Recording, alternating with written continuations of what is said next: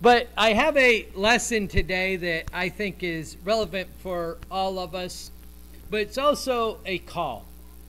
It's a call for spiritual leadership from our men, from our fathers, and from our young men and young boys that will one day be a, a leader and a father. Ephesians, the fifth chapter that Fred read from us, makes some interesting statements. I say interesting because I believe they're much deeper than oftentimes we look at them. We see in 25 that husbands are called or commanded, are given the role of being the heads of their wives, but they're told first in 25 to love your wife. Now, isn't it interesting that husbands are told to love their wives? Um, isn't that obvious? Isn't that a foregone conclusion? Would have I married Amanda if I didn't first love her? The answer to that, young folks, is yes. See, loving is something we learn to do.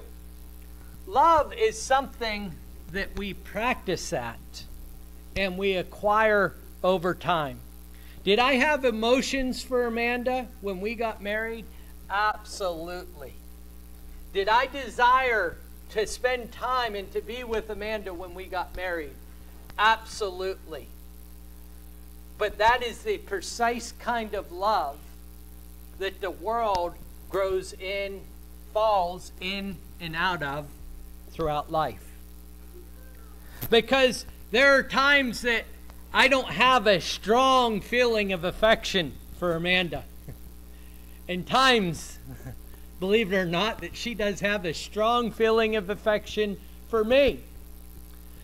But Paul is describing the kind of love that he's calling husbands to have for their wives in this chapter. He says, Husbands, love your wives as Christ loved the church.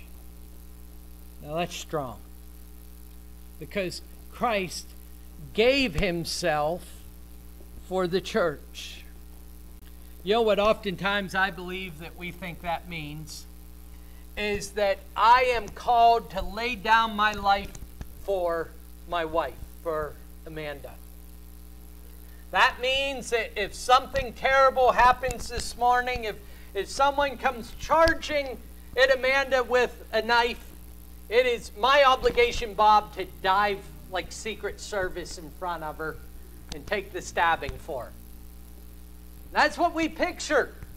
This is saying to lay down our lives for our wives.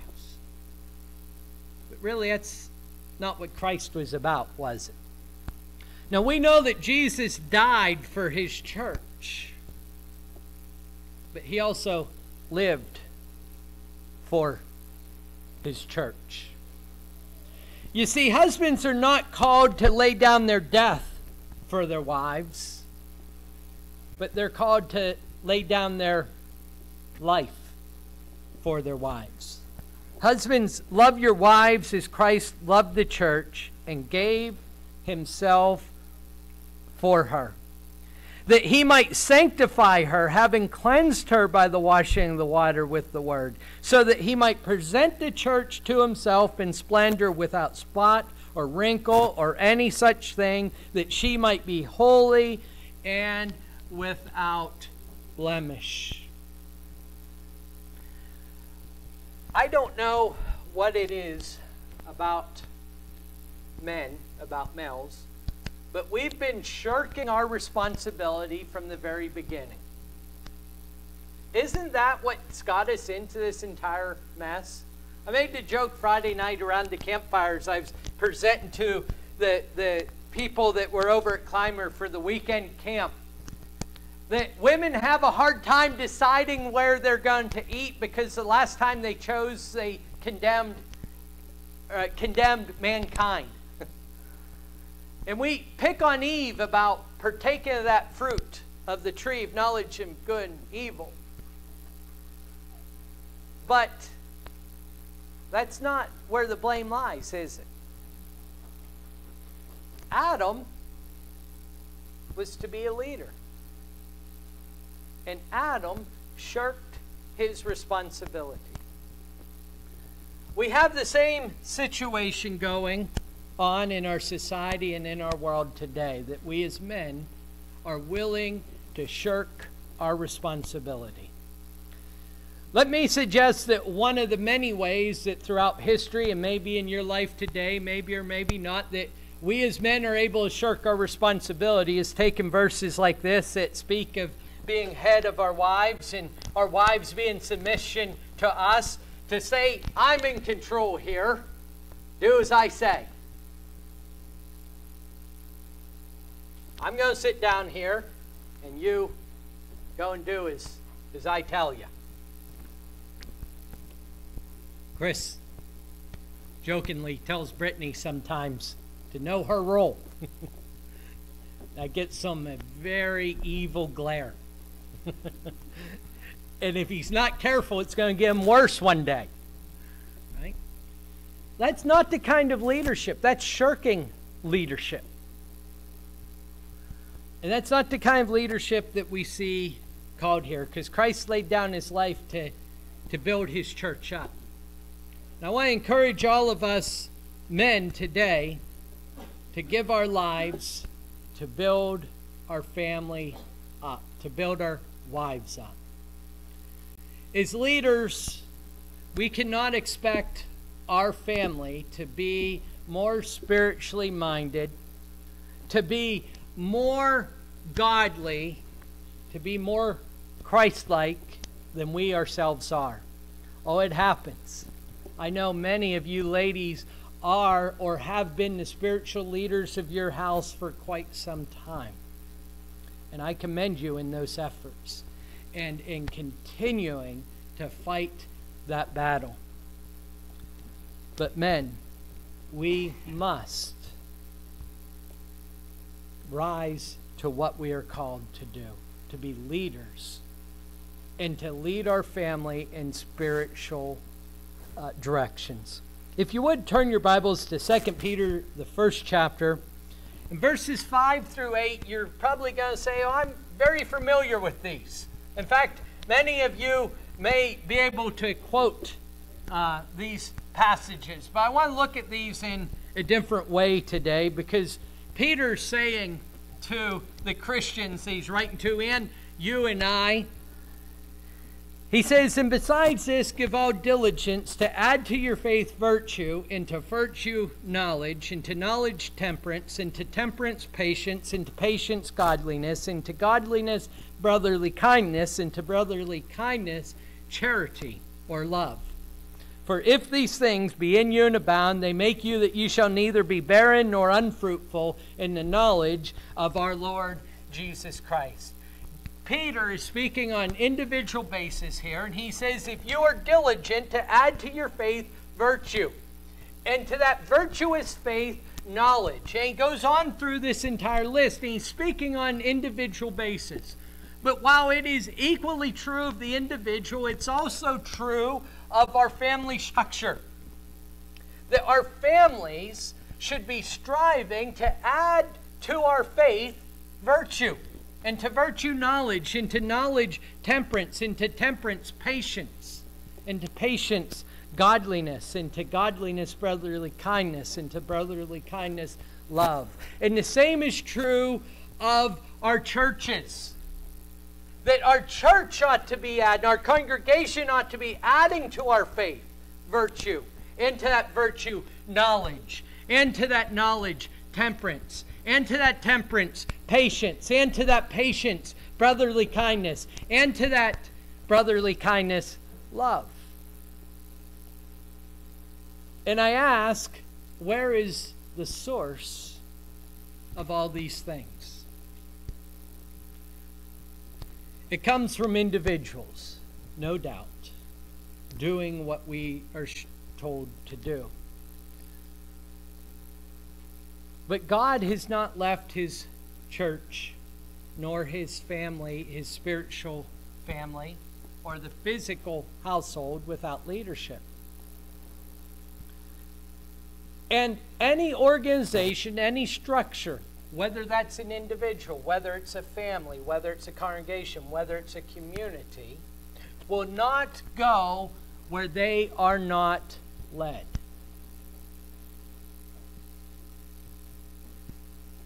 And, gentlemen, we are called to lead the way.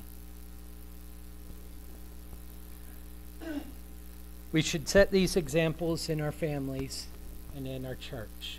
The title for this morning, as I believe Fred announced, is Wanted, a Man. Looking for a man, a good man. What kind of man? First off, if you turn your, your Bibles to Hebrews, the 11th chapter, as we look at verses 5 and 6, I will believe that we will see that we are looking for men, for a man of the house of faith. A man of faith like Enoch. Now, when we think about faith, oftentimes we are thinking about, well, that's what I believe. And, and I believe in God. And I believe that Jesus gave his life for me. But I asked the children on our way over to Clymer last week who was the oldest man who died before his father? And it's got her hand up. Now, you probably know the oldest man in Scripture is Methuselah, 969 years old. Raise your hand if you would, if you know who the oldest man that died before his father was. Levi's got one finger up.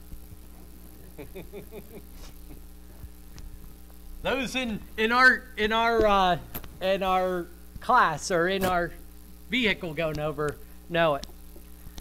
Well, if you know who Methuselah's father is, that gets a little bit easier. Because Methuselah's father was a man by the name of Enoch. And Enoch, we read about as well as in the Old Testament in Hebrews, the 11th chapter, in verses 5 and 6. And we read by faith, Enoch was translated that he should not see death, and was not found because God had translated him. For before his translation, he had this testimony that he pleased God. But without faith, it is impossible to please him. For he that cometh to God must believe that he is, and that he's a rewarder of them that diligently seek him.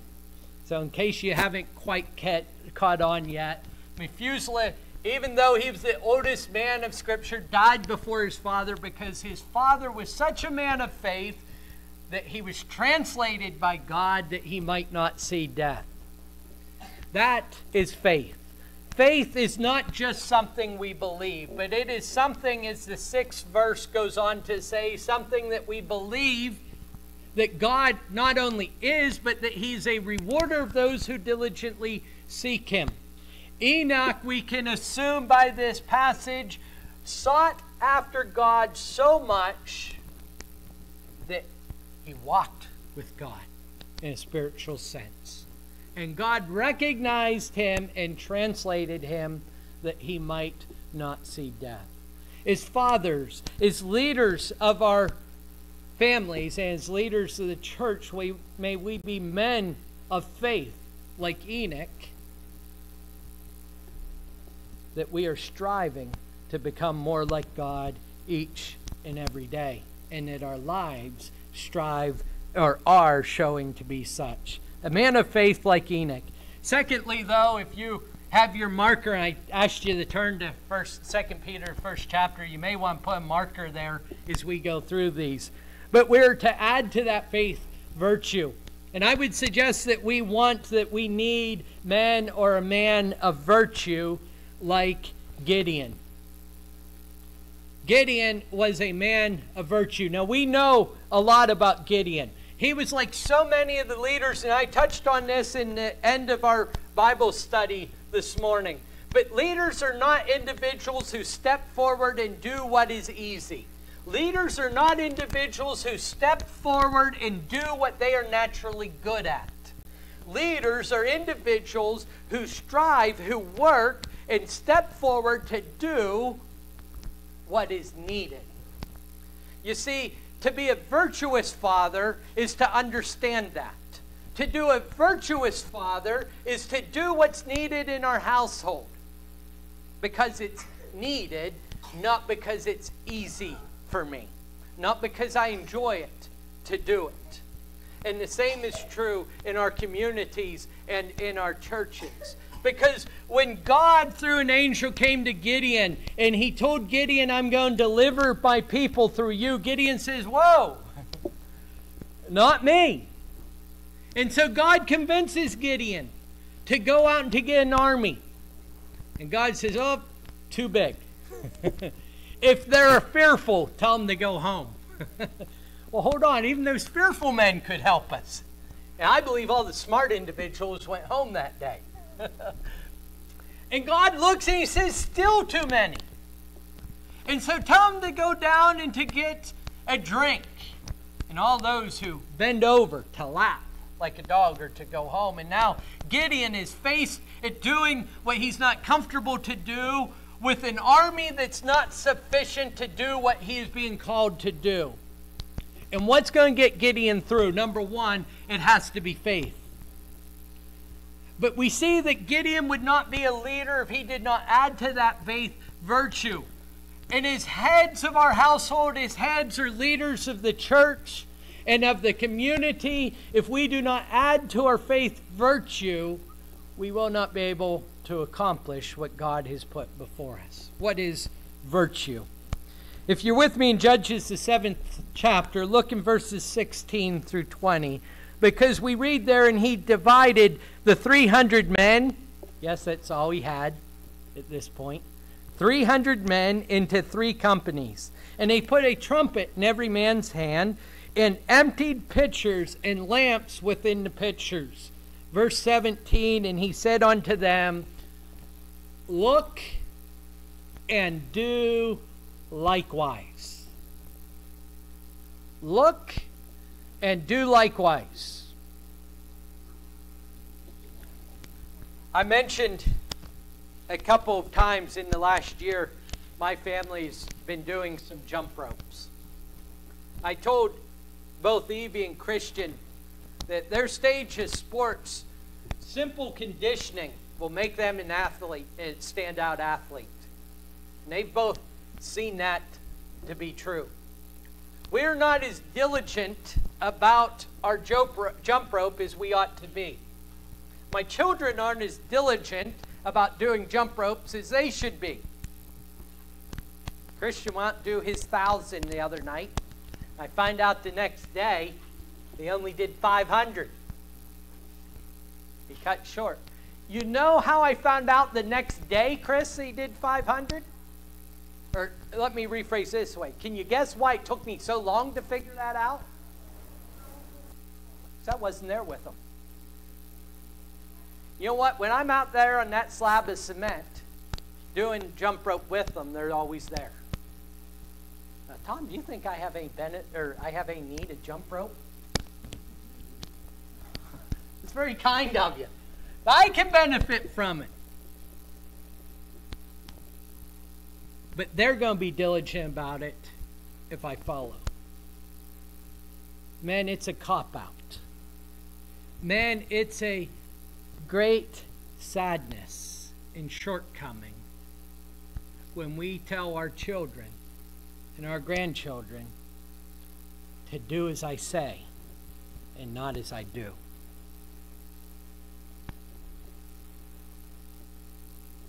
What about Gideon? Oh, these 300 men.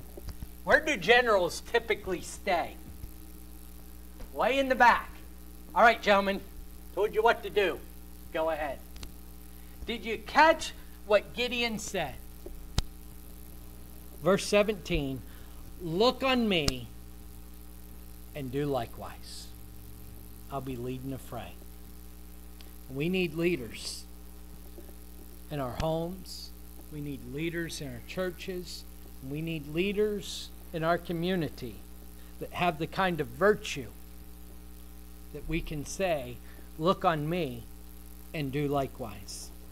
We need men of faith like Enoch, men of virtue like Gideon, And we need men of knowledge like Timothy.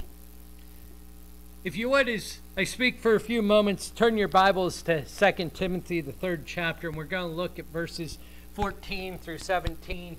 But we have so many things that rob us. And this isn't men, and none of these things are relevant solely to men. But I am calling for leadership in the household. We have so many things that rob us of knowledge. I don't think we always look at those things as robbers, as thieves of knowledge. But if you were to ask yourself, what is the greatest prohibitive factor in my life from having more biblical knowledge, more wisdom in my life? What is it? Young folks, if I have your attention for a moment, I talked this morning as we talked yesterday about habits. There are things that form habits that are very useful, that are very good to have, that can help you accomplish things that generations before you never did. They're electronics. but they will rob you of many things in your life if you're not careful. What are we looking down at back there? It's not electronics, is it? Nope. Good. they will rob you of things that are useful in your life. This isn't just children.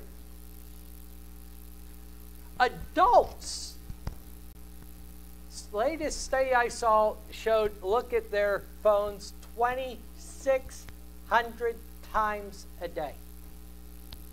2,600 times. Gentlemen, men used to have studies. What do you do in a study?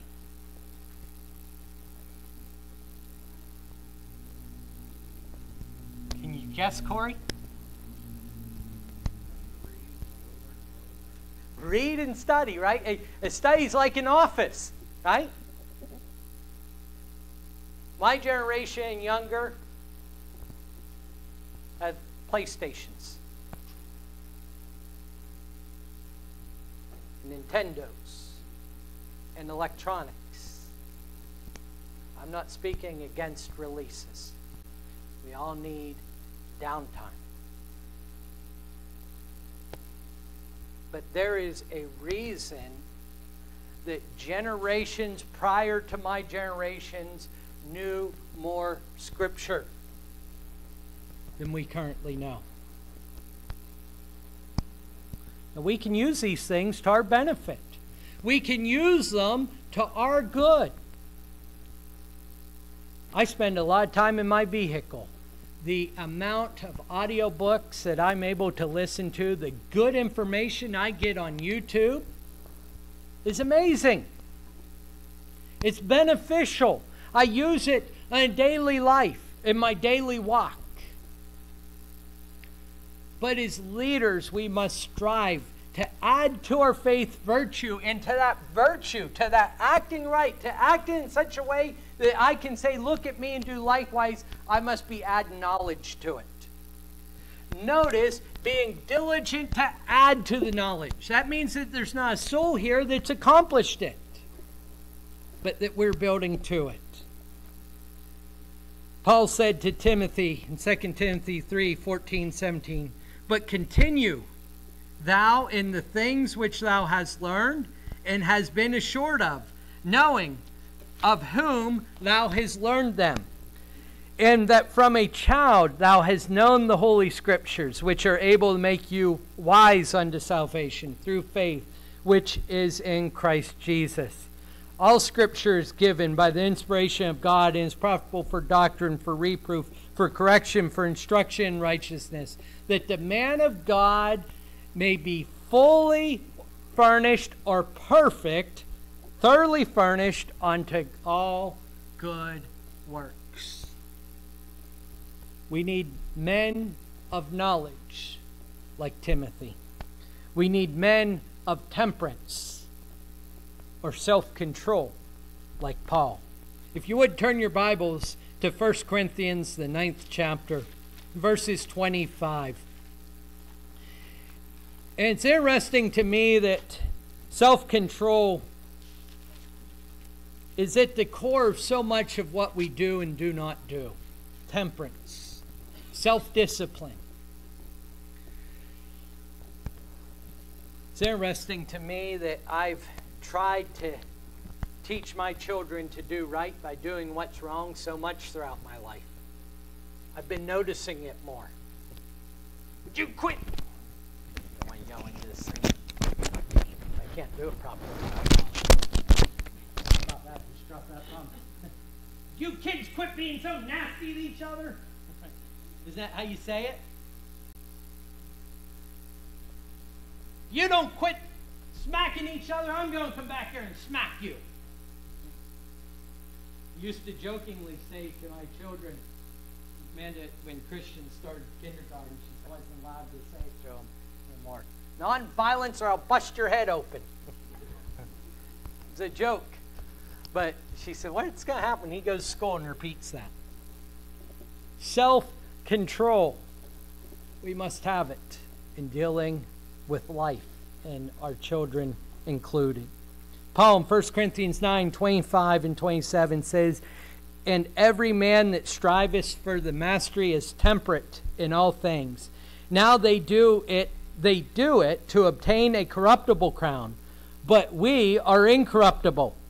I therefore so run, not as uncertainty.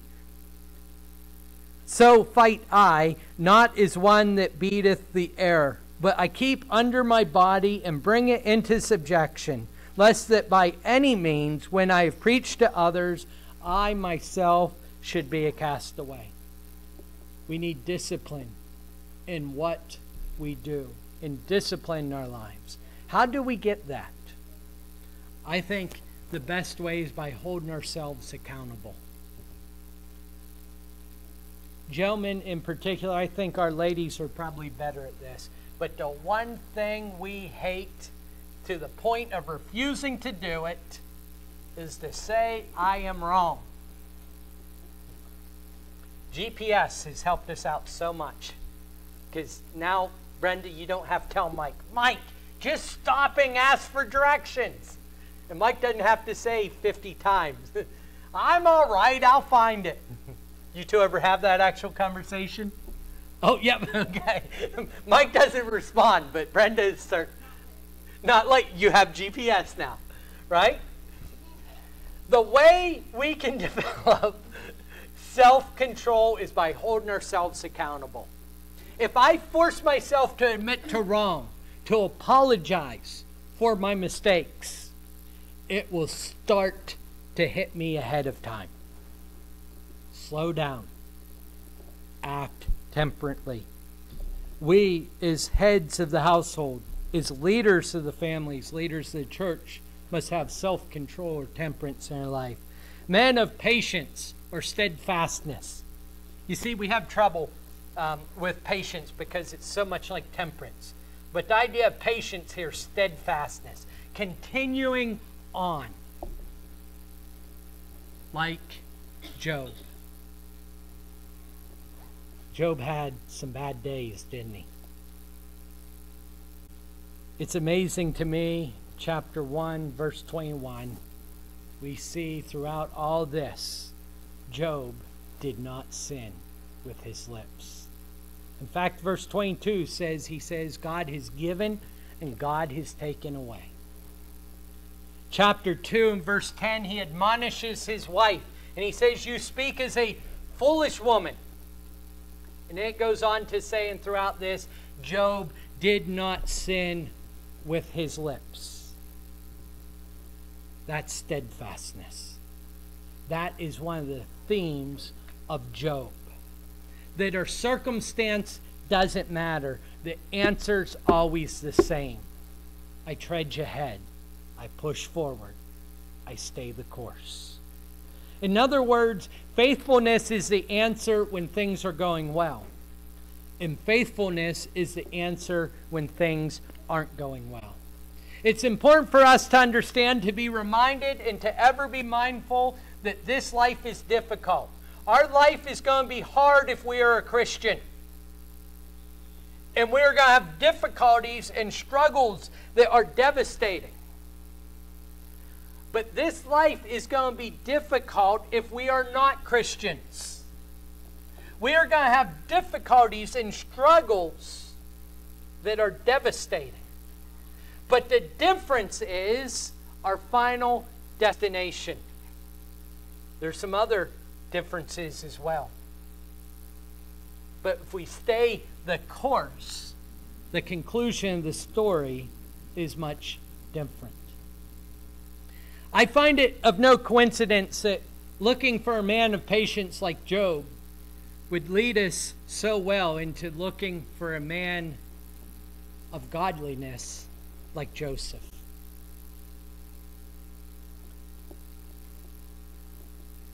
Emma, I was, I was looking for Emma. She's at camp, isn't she? Emma's getting ready to head to school. Mac, I think, is probably with his family camping. But increasingly so, children, many of you, Christian, Naomi, and, and the rest of you as well, are getting to the point where you are unsupervised. And that increases throughout life. Your parents aren't standing there. I think about Joseph. You see, Joseph was doing what was right. He's just conveying godly messages, visions given to him by God and gone thrown into a well. How many times have you heard? How many times have you said or thought, what makes a difference? I've tried to do what's right. It doesn't pay off anyhow. Well, we've all been there. But when we're there, what we sometimes forget is I may be trying to do what's right, but I'm doing it for the wrong reason. You see, Joseph could have said that. But I believe we see through Joseph's life that he was doing what was right, not because he was going to get a payoff, but because it was right. Because in chapter 39 of Genesis, Joseph finds himself away from his family, out of sight of his father with no supervision. And Potiphar's wife advances on him and is aggressive. And Joseph is a man of godliness that says, I cannot do this against Potiphar, who's employed me. I cannot do this against myself. And I cannot do this against God.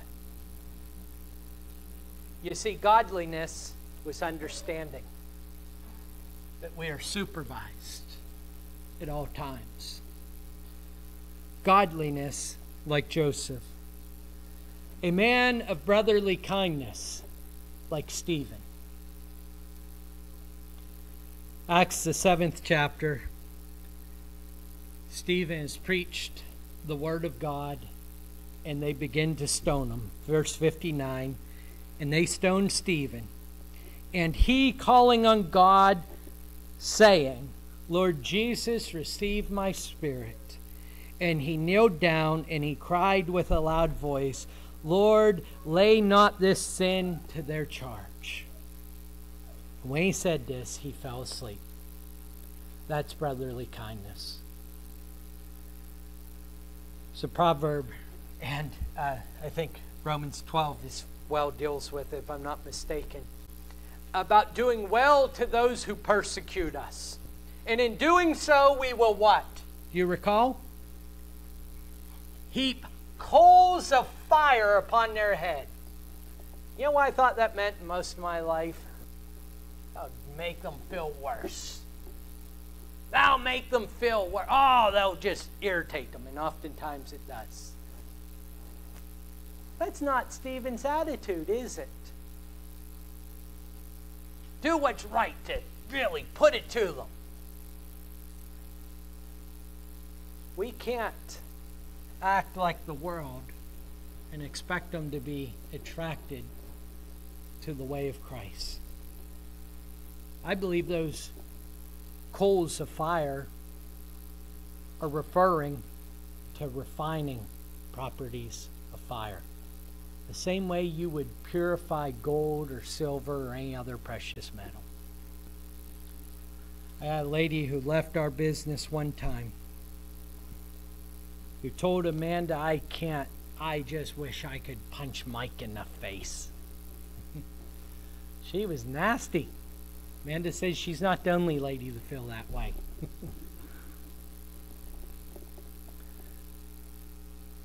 I now shoe her horses. I have regular conversations with her.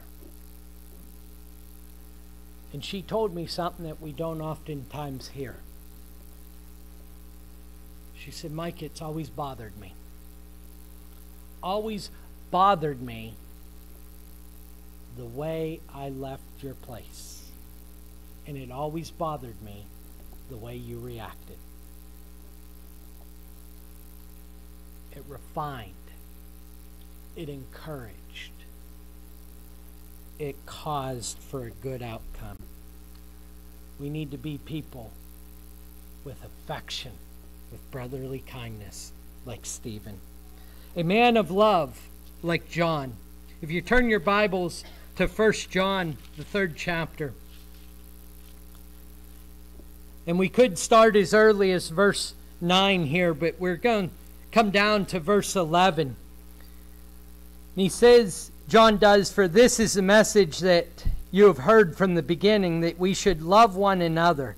We should not be like Cain, who was of the evil one and murdered his brother. And why did he murder him?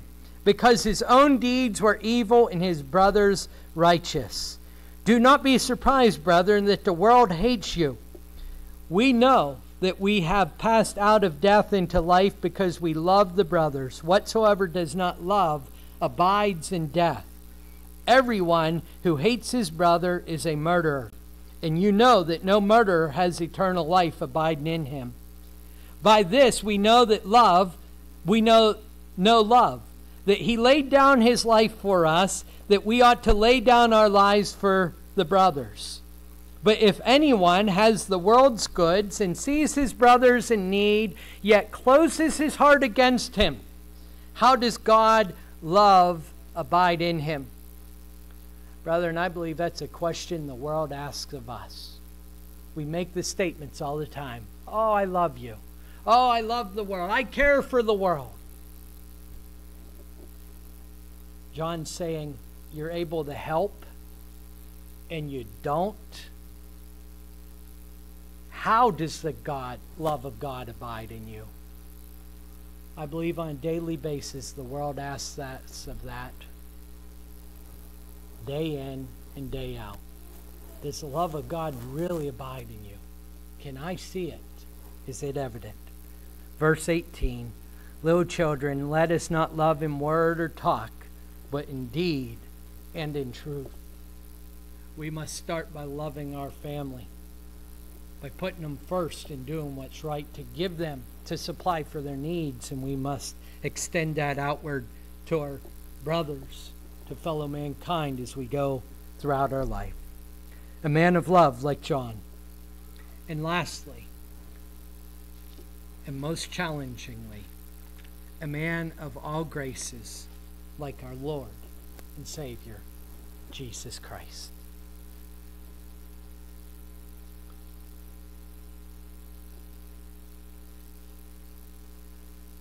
I'm not going to accomplish that. But I'm going to strive for it. And if I'm striving for it, my children are going to see it. My children are going to notice when I sit down in frustration and give up for a period of time. My wife is going to notice when I've momentarily given up the task. You will see it in my life, whether I do or I do not. And the world around me will see in my life whether I'm striving to be a man of faith like Enoch, whether I'm striving to be a man of virtue like Gideon, whether I'm striving to be a man of knowledge like Timothy, whether I'm striving to be a man of temperance like Paul, whether I'm striving to be a man of patience like Job, whether I'm striving to be a man of brotherly kindness like Stephen, whether I'm striving be a man of love like John, and whether I'm striving to be an individual of all graces like our Lord and Savior. If you've not accepted that challenge, if you've not accepted Jesus Christ's path, method, and way for your life, then why not change that this morning? Why not dedicate your life to Him and make yourself susceptible, to make yourself open to the forgiveness, to the grace, to the blessings that He's made offered to you this morning? If you're subject to that gospel call, then please come forward as together we stand and sing.